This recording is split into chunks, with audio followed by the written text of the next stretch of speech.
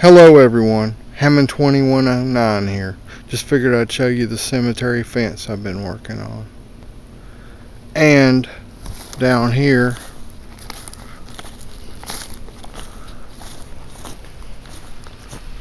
there's my gate, but you can't hardly even see it, it's so dark.